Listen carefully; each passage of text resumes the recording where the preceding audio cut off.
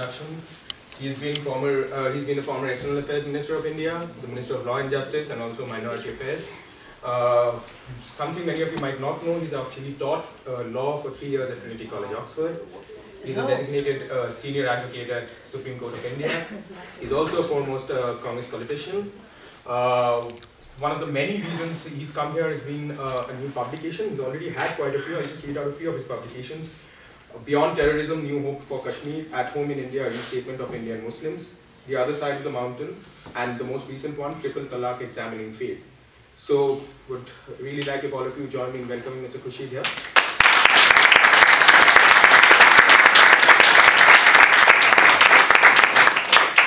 Our moderator for the day is Dr. Shruti Kapila, University Lecturer and Faculty of History in Cambridge.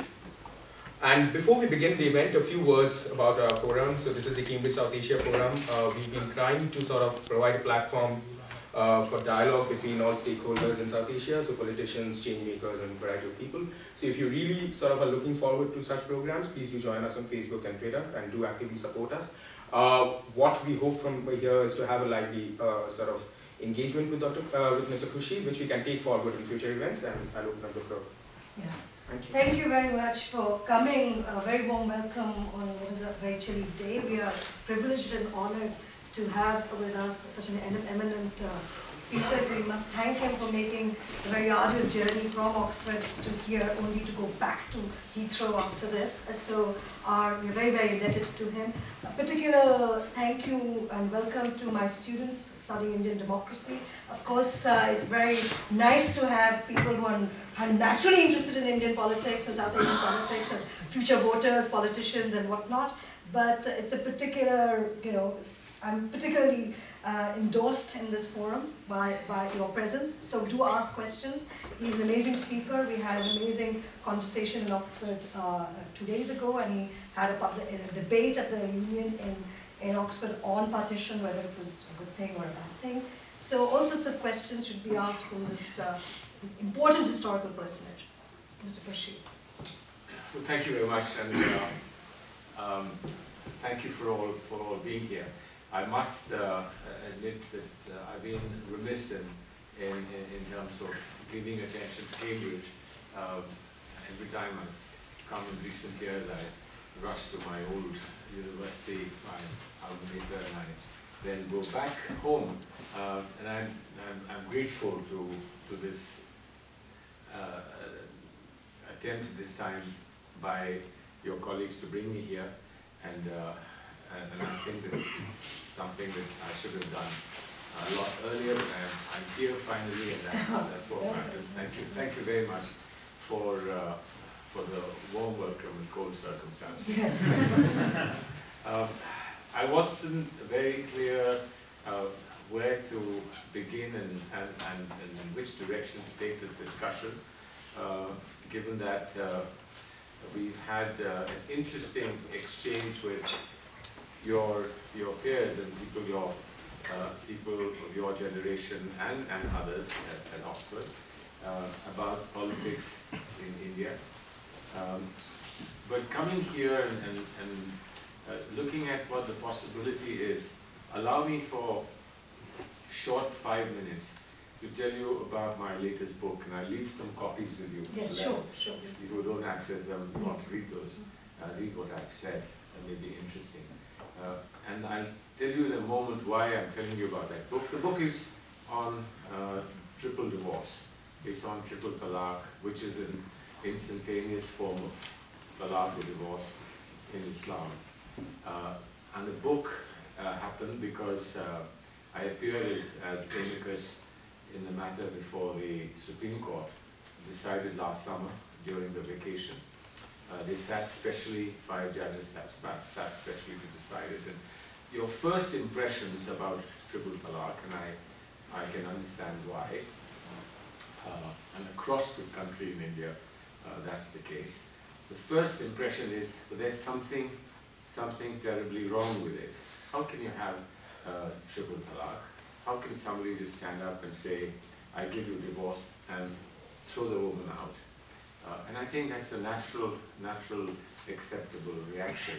And then there are all kinds of things have been added to it. Somebody say, But isn't it horrible? You do, you give divorce and, and, and you give triple talaq on the Facebook and, and you do it on, on WhatsApp and you do it by writing a letter, etc. Isn't that all very wrong? And I, uh, I, I think that by any, any standard, that is something that would uh, be uh, unacceptable and irksome to anybody who believes in, in a degree of equality and this, the life that we commit ourselves to under the constitution in India. And therefore it was important to explain what this context, context of talaq, divorce, and triple talaq is, which is an instant form of divorce. So please hear me carefully, because if you miss one little link, then everything goes, goes haywire. One of the judges, uh, who's I think one of our brightest judges in the Supreme Court, uh, who's a lawyer and directly came to the Supreme Court to become a judge three years ago, uh, is the judge called Rohinton Nariman. His father is a very, very eminent lawyer, and uh, himself was Solicitor General of our country, and he's now one of our brighter judges.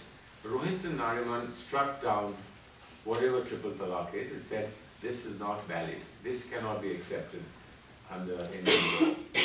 But he says this and he also says something else in his judgment, and therefore his judgment becomes very interesting. He says Islam provides the most shockingly modern system of divorce, of marriage and divorce. He says this in that very judgment in which he outlaws triple talaq. Now that's the interesting contradiction that we need to understand, and I think Cambridge is the best place for us to understand that. There were five judges the Chief Justice, Justice Khehar, was a Sikh. There was another, Rohinton Nariman uh, is, is, a, uh, is a Parsi. Uh, there was a Muslim judge, uh, Justice Nazir, who sided with, with Chief Justice. And then there was a Christian judge, uh, Justice Kurian Joseph.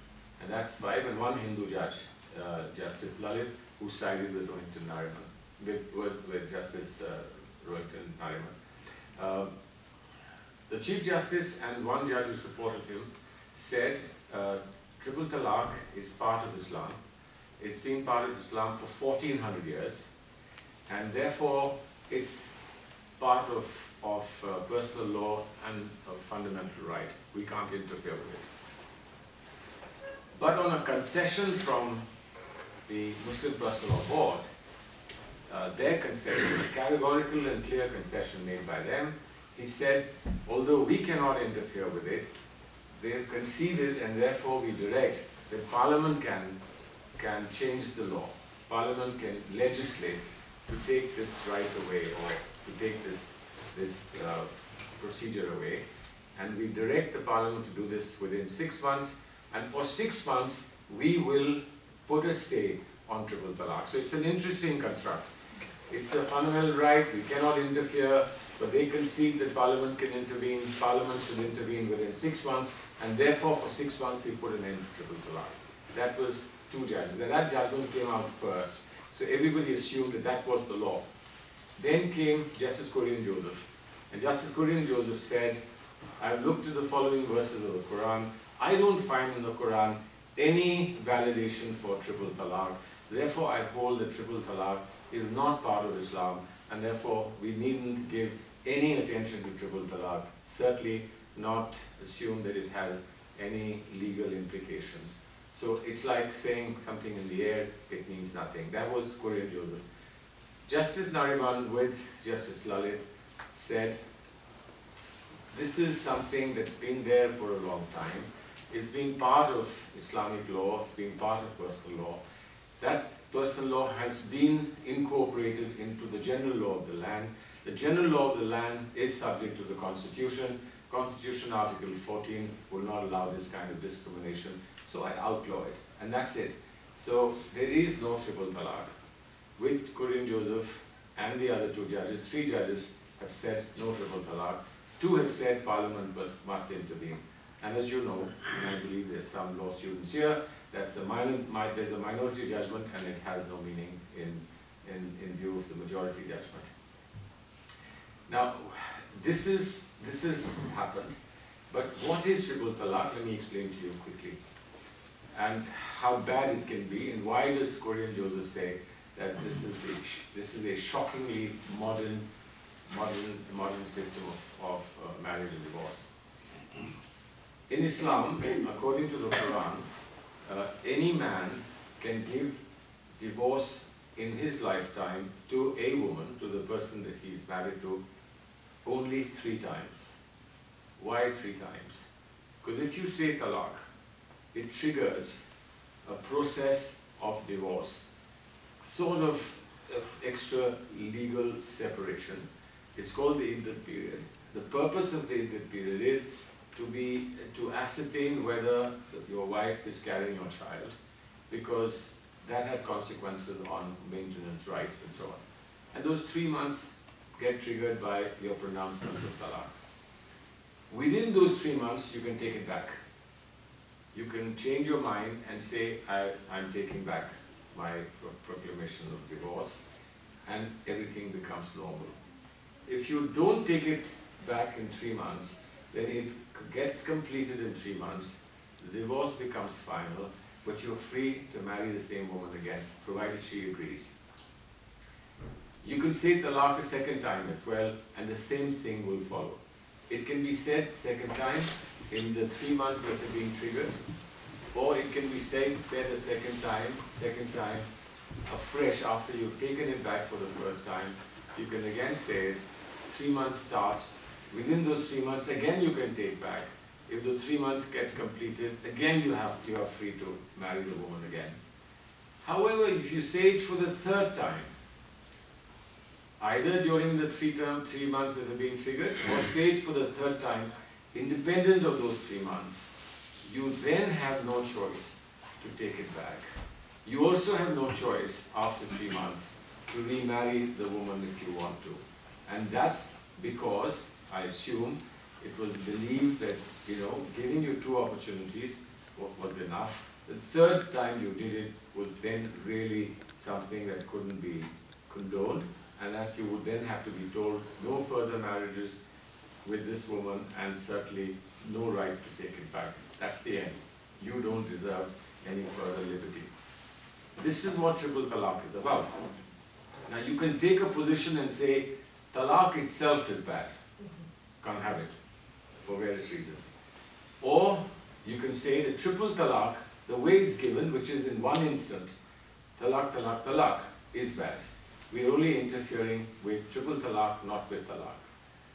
The court finally has, in whichever way it's pronounced, it is given a response to triple talaq.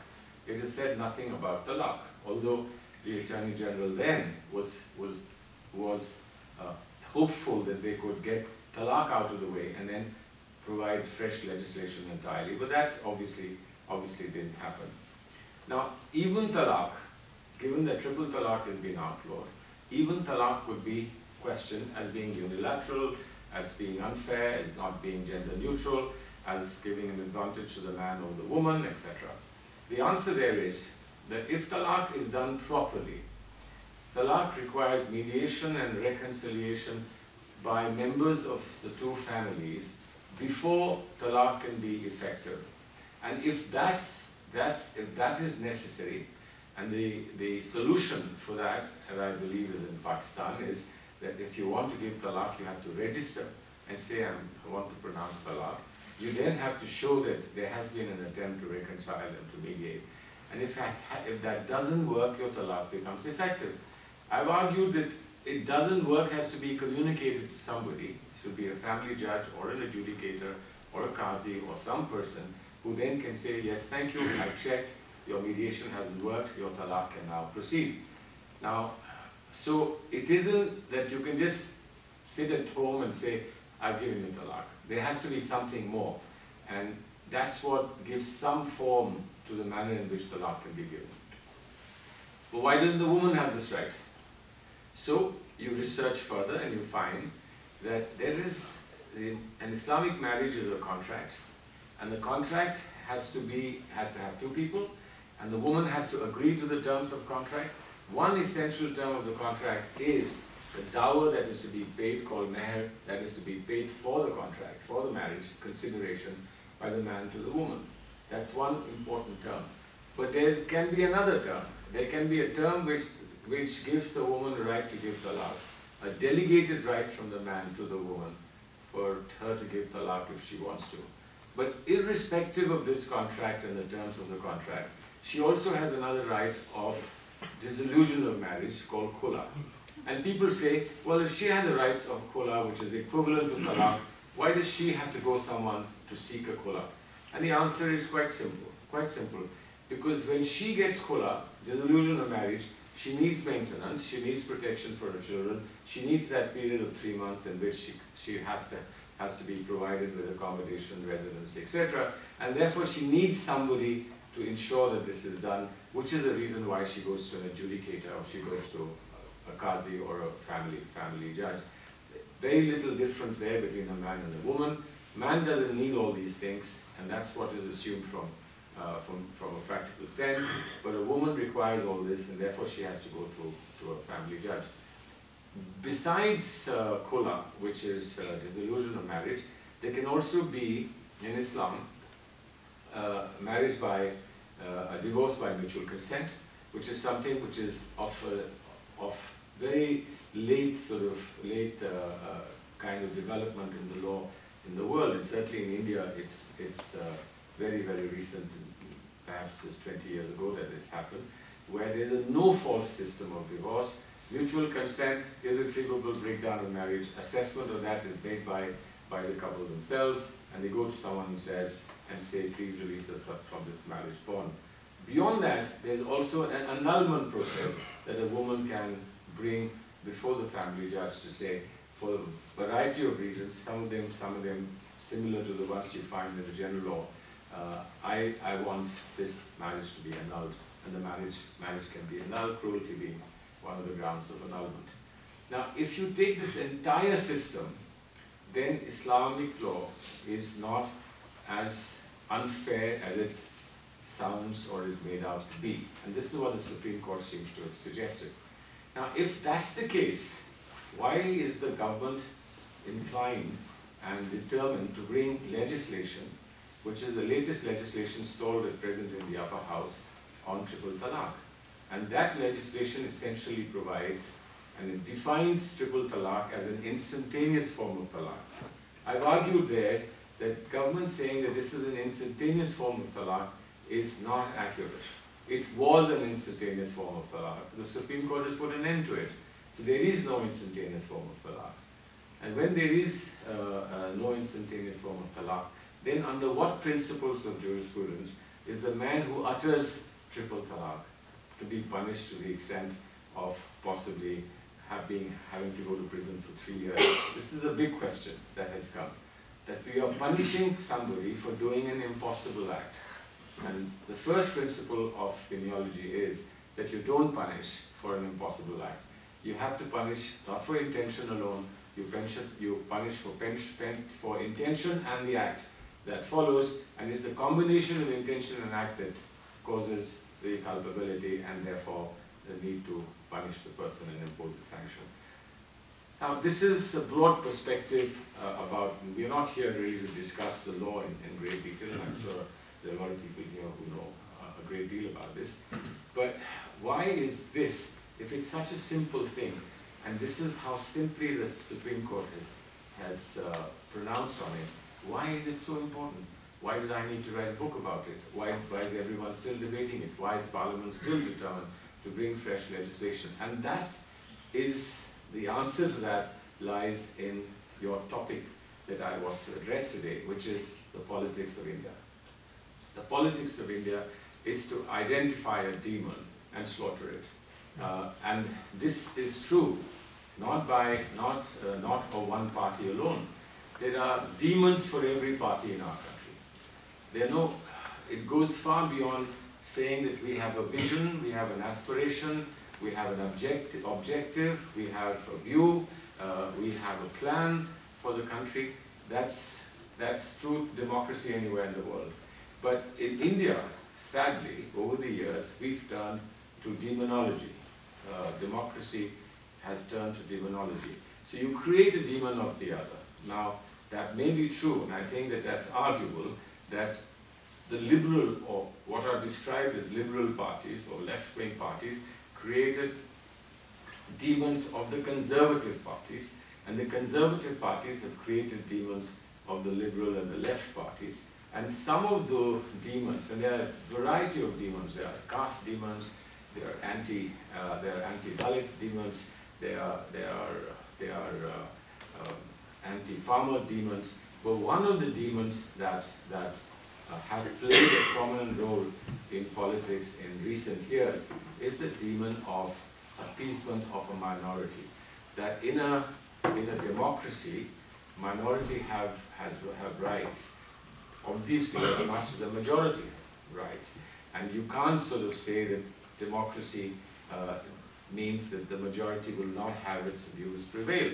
The majority must be, must be, uh, must be given uh, the first right, as it were, to have its views to prevail, but the majority has to work within constraints of constitutionalism, and the constitutionalism is essentially about balancing the rights of a majority. Could be a temporary majority, could be a permanent majority, could be a majority on a particular topic, could be a majority on a particular issue, and the minority on any of those issues. Now, this is a, there's an interesting discussion on this, which takes us into an amazing, amazing level of, of remarkable level of intellectual authority, and that's in the Supreme Court. Please look at it. It's the judgment on privacy that's been, that's been written by Chief, Ju Chief Justice Chandrachud's son, who's now in the Supreme Court, Justice Chandrachud, one of our remarkable judges, who've talked about this idea of dignity of the human being, autonomy of the human being, uh, and the right to be right to be different. Uh, and there, I believe, although the uh, the traditional minority-majority uh, debate in our country didn't pick this up, I believe some of the strongest arguments for the minority of one or minorities have been, have been articulated in this judgment. And if uh, minority groups were only sensitive to the arguments that have been made in this judgment, they would have something, something very, very significant and important in their favor. Um, so the articulation that we have been accustomed to over the years, which is today being demonized, which is today being rejected, that it's secular versus, versus non-secular, it is secular versus religion, etc., are, are barriers that can easily be broken today by something that, that can appeal to both sides, to both sides, under the idea of dignity and uh, autonomy and, and personal freedom. So freedom of conscience, freedom of thought, freedom of expression and conduct and personal behavior, and the state not, not having a role in what you do at home are critical, critical decisions that have been indicated in the judgment. And I believe that this judgment will become a test stone for, for many, many, many, many com, uh, conflicting positions. And it's already started. Right now, the Supreme Court is hearing the Aadhaar case, which is uh, taking your biometrics to give you an identity, and uh, whether that, that violates this judgment is one of the questions that have arisen before, before the court.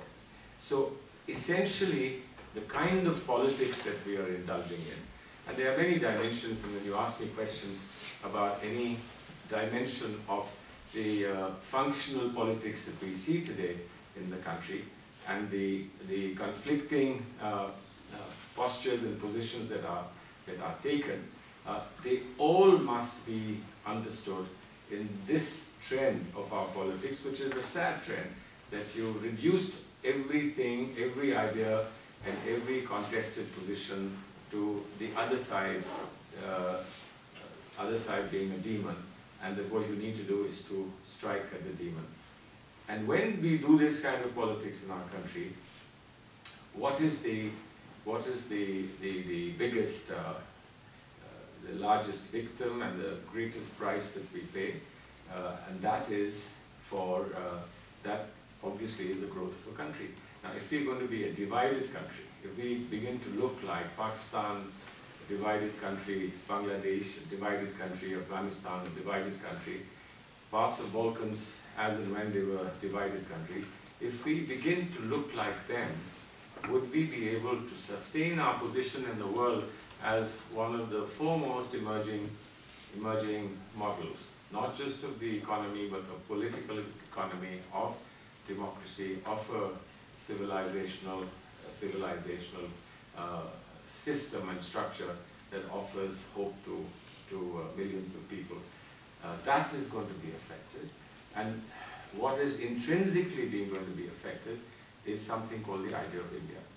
Now, is it that, is it that there is a core, and I give you, uh, I give you just something to think about.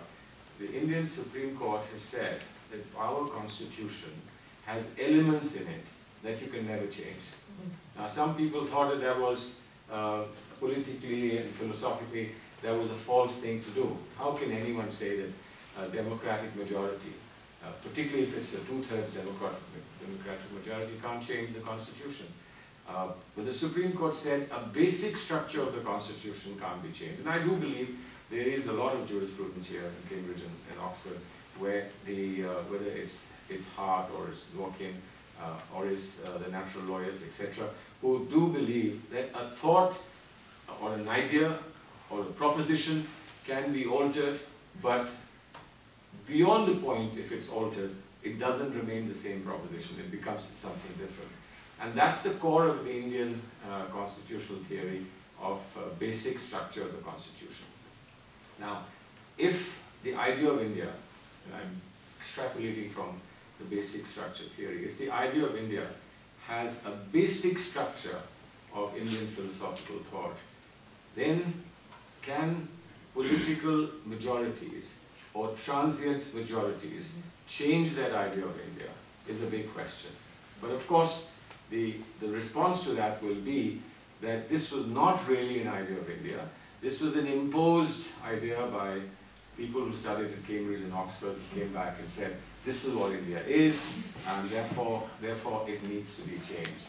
Now, that's, a, that's an interesting contest that is, that is going on in our country, but uh, it's not always put in such simple terms. I mean, it's complicated in various, various uh, manners, some of which are not necessarily very attractive or honorable.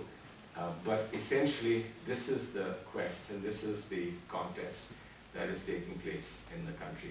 What is the idea of India and uh, how do we sustain it? And ultimately, I believe that uh, politics at the highest level must address that issue. Thank you very much. Thank you.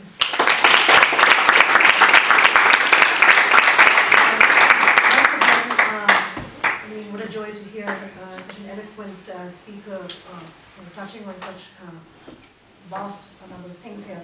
I'm not going to give a comment because we did uh, sort of do that just a couple of days ago. But may I just ask a first question, which is to ask you, uh, it sounds like a party political question, but it's actually not a party political question, which is to say that uh, why is it that it was the BJP government that decided to legislate on the triple? Because after all, you know, this, you know, I mean, I think we need an answer uh, to that. Uh, you know, after all, the debate on personal law has been raging since the Shah Bano case, uh, at least since the Shah Bano case. And of course, going back further, actually, the Hindu Code Bill in the 50s itself, which remained unreformed, and ironically, it's the Hindu, Hindu Code Bill which is so unreformed. Uh, uh, so I was just wondering uh, how, as a practitioner of politics, as a lawyer, but as someone who's witnessed these politics for at least 20, 30 years, uh, why this particular movement for it, and why, what is this debate on the, not just the mechanics of triple talaq, Yeah. but the fact that it is, you know, it is, it is sought to be, Why now? Why now, and by the BJP. Well, three quick responses to that. Uh, I'm glad that you mentioned the Hindu Code Bill. Uh, I think some, uh, despite despite disappointments uh, that the protagonists must have had, uh, there have been some remarkable, remarkable reform, as you know, Mhm. that's been that's has been put in place both at the time when, when Nehru and Yes. and uh, Rajendra Prasad disagreed on the speed and the content.